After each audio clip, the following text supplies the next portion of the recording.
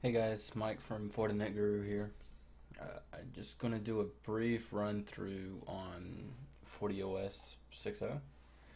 Uh, it just came out of beta, so it's publicly available. Um, if you guys haven't seen the brochure that discuss discusses some of the stuff that it's actually brought on, I'll cover some of that and then I'll do a walkthrough with the actual GUI itself. But um, basically, FortiOS 6 is the latest and greatest obviously I wouldn't recommend putting this on anything production based. You never want to put the first version out there. I'll probably wait until patch two at the very least, probably patch three or four though. Um, but basically, uh, the skinny on it is is you know in typical Fortinet fashion, they're they're enhancing their all-in-one security fabric Fortinet device, boring building on Fortinet device and things of that nature. So, um, a couple of the key features based on the brochure, just in general, is multipath intelligence for SD WAN. I will say that the little bit of playing I've done on this, this is like the first instance of SD WAN that Fortinet's done that actually makes sense and works the way it should, at least from a FortiGate perspective. Um, it provides you the ability to actually set SLAs and health checks in a proper manner uh, the SD WAN capability will actually give you the the policy set, kind of like a policy based route, to define what traffic uses which link and what kind of quality of the link needs to be maintained in order for that traffic to stay there. Um, Fortinet has brought on with 6.0 the new asset tagging. Basically, you can tag address objects, devices, things of that nature, and that basically is just taking them a step further into getting closer to software-defined network from the FortiGate perspective. Um, one of the coolest things that I've seen so far has been the multi-cloud support for SDN connectors. I'll uh, show you a little bit about that. And then, you know, there's some new FortiGuard services that are coming out in general. Um, with the 6.0 release of FortiOS, they're also going to bring a new FortiClient.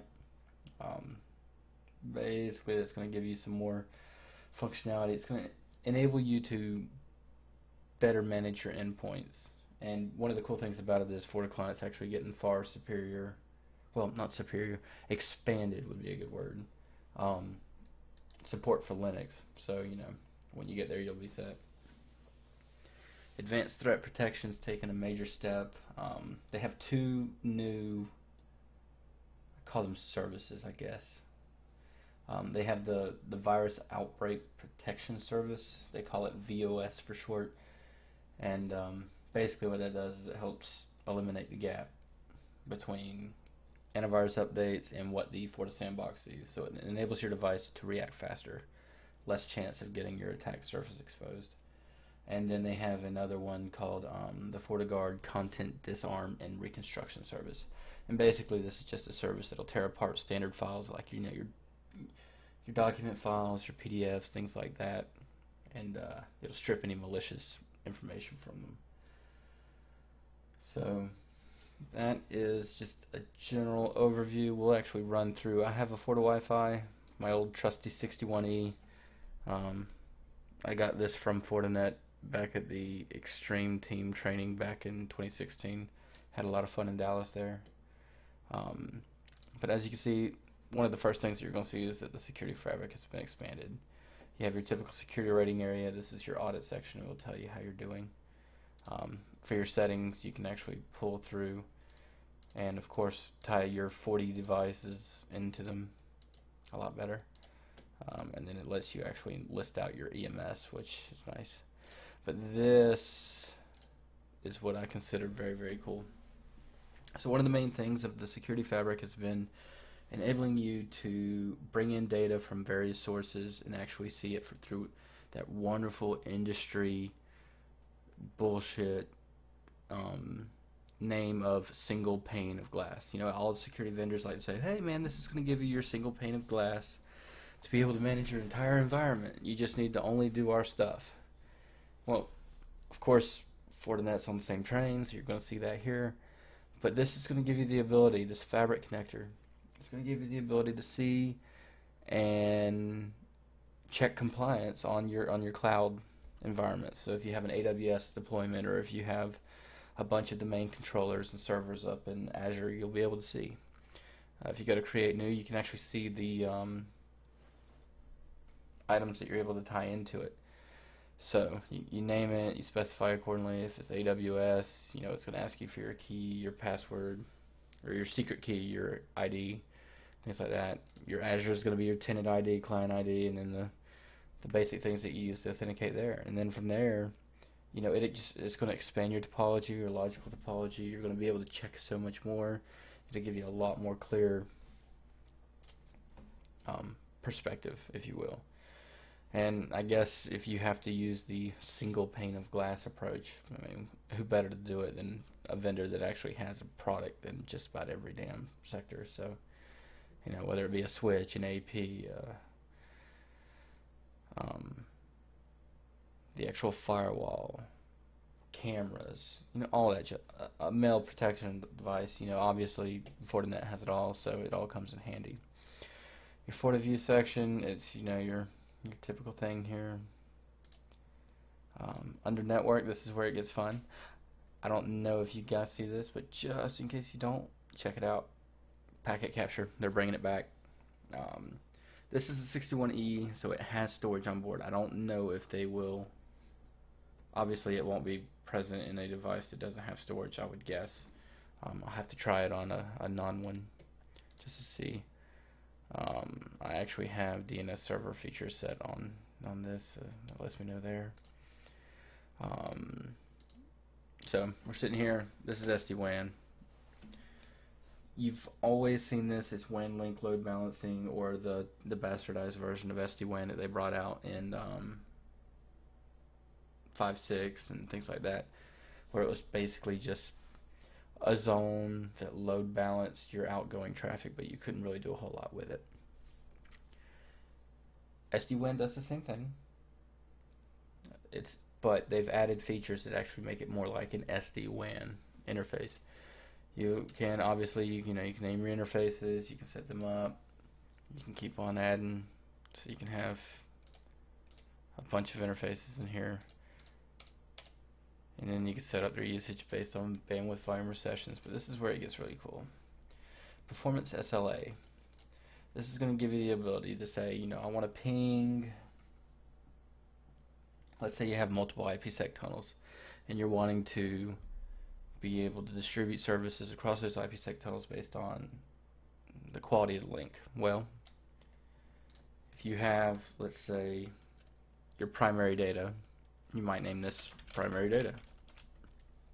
And then your server could be 10.2.2.1 and you wanted to check it for ping and you wanted to include participants this is where you'll put your actual links that are associated with it. This is where it's cool. You set SLA targets and you can set various levels of targets. So you might want it to be 555, you might want it to be 15, 15, 10, and then 2, 2, 2 and that gives you your three levels of SLA. Now, after you configure this and you set your SLA targets, if the links that are a part of this SLA fail, they're getting pulled.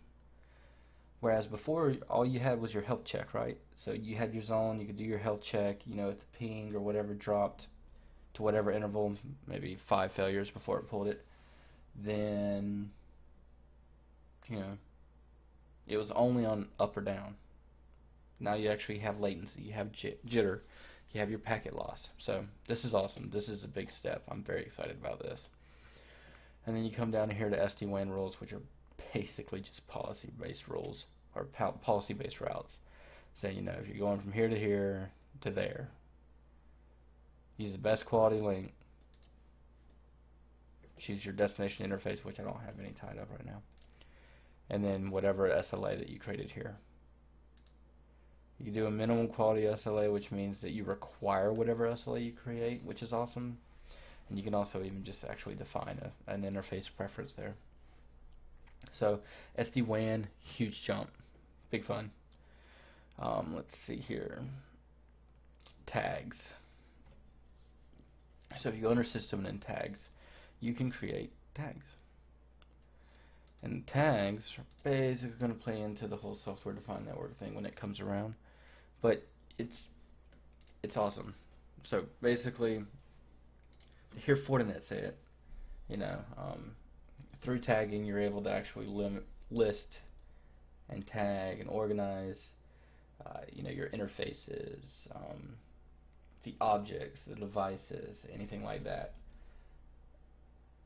And basically from there you're able to configure global policies that as new devices or new addresses or new items come in, they're automatically assigned to these tags based on what they are, which means they automatically get certain security rules, security policies, things like that. And basically that gives you the ability of automatic enforcement. So it helps you not miss something that gets hung up in the minutia.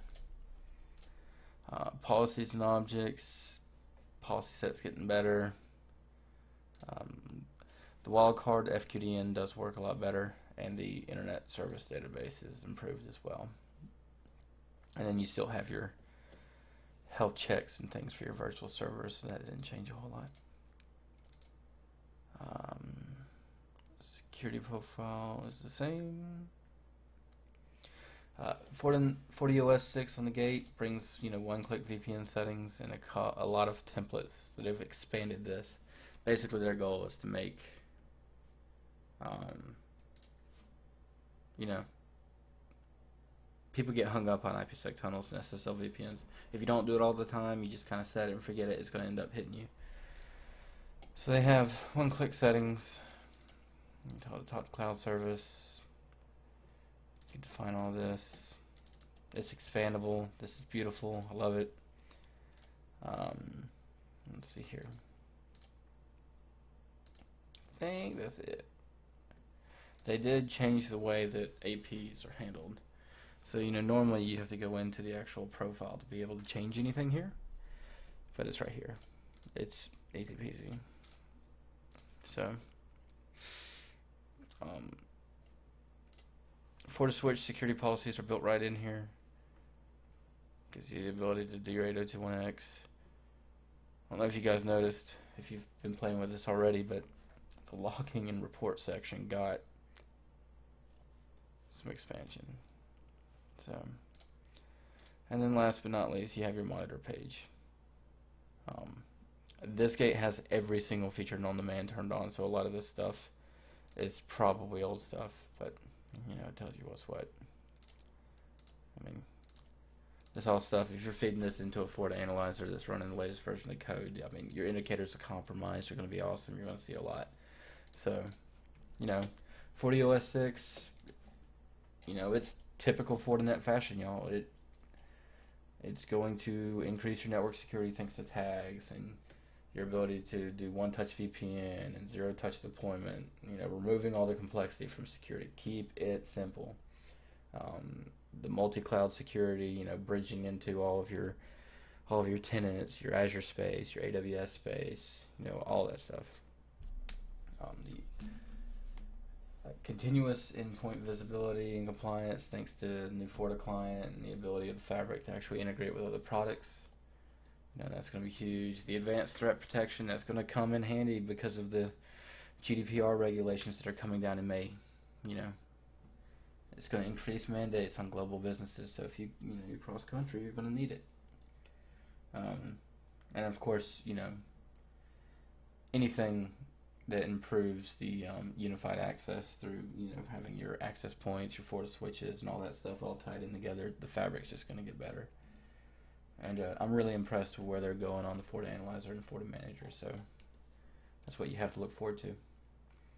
But um, if you have any questions, hit up the comments below.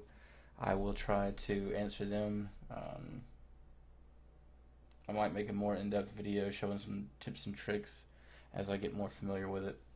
Uh, I've been burning all my time just dealing with the 7K at one of my clients that's having some wonderful CPU spike issues that's causing some pain. So, um, but you guys have a good night. Give me a shout if you need anything. Otherwise, I'll see you next time.